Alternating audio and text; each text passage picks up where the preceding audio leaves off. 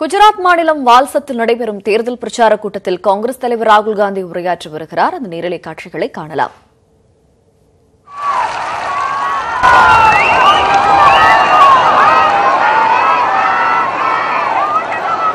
ખૂબ ખૂબ આભાર રાહુલજી આપે ગુજરાતની